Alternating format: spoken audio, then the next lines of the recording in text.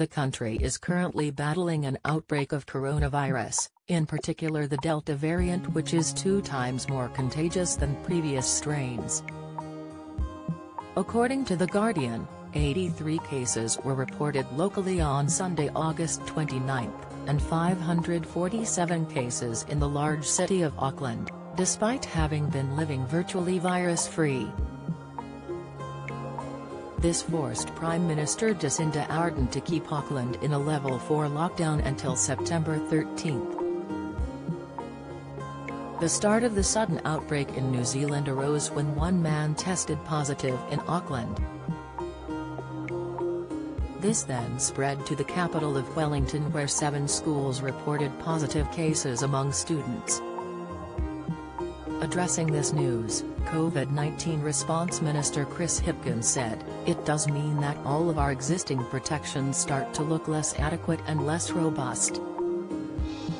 He continued to add that it raised some pretty big questions about what the long-term future of our plans are.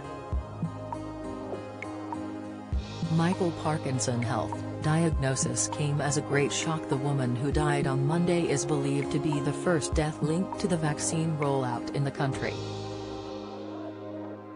Further explanation was given by the Health Ministry and the COVID-19 Vaccine Monitoring Agency, CVISMB who said she had died from myocarditis, or inflammation of the heart side effects that were probably due to vaccination. Despite this death, the statement from the ministry continued to read, the benefits of vaccination with the Pfizer COVID-19 vaccine continue to greatly outweigh the risk of both COVID-19 infection and vaccine side effects, including myocarditis. Pfizer vaccine, four troubling side effects that follow second jab, tips dementia, 3 lifestyle habits increasing your risk, expert advice Pamela Anderson Health. Baywatch star's death sentence diagnosis, insight, although the identity and age of the woman is unknown, it is believed that she suffered from other medical issues simultaneously that may have influenced her death following vaccination.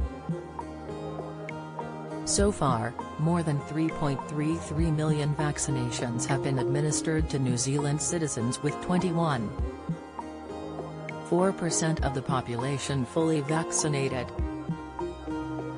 This comes after BBC Radio Newcastle presenter Lisa Shaw was confirmed to have died from complications of the AstraZeneca vaccination back in May. Coroner Karen Dilks found blood clots in the brain, explaining the severe headache shooting and stabbing Ms. Shaw was complaining of across her forehead and behind her eyes after receiving her first dose of the jab on April 29. Symptoms of myocarditis Put simply, myocarditis is an inflammation of the heart muscle that reduces its ability to pump leading to abnormal heart rhythms.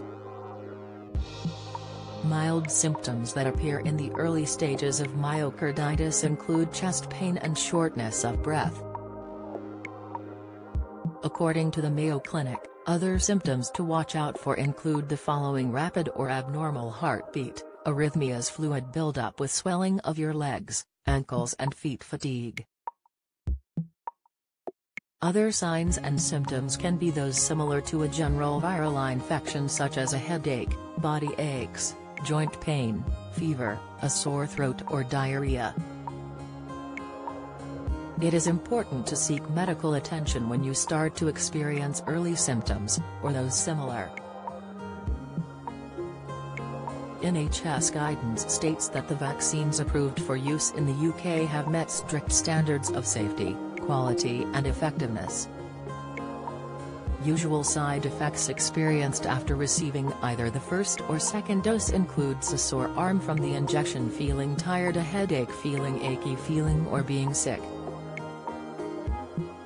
Related articles Festival goers can get jabs this weekend Pfizer boss says. New vaccine-resistant variant likely to emerge. Pfizer vaccine, BMJ study finds risk of a serious complication.